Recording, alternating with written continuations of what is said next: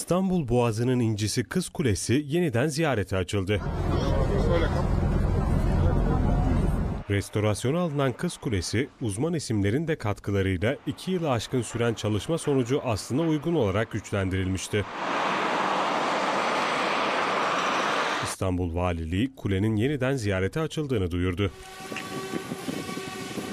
Ancak kuleye ulaşım Üsküdar Salacak sahil düzenleme çalışmaları sebebiyle Karaköy iskelesinden sağlanacak.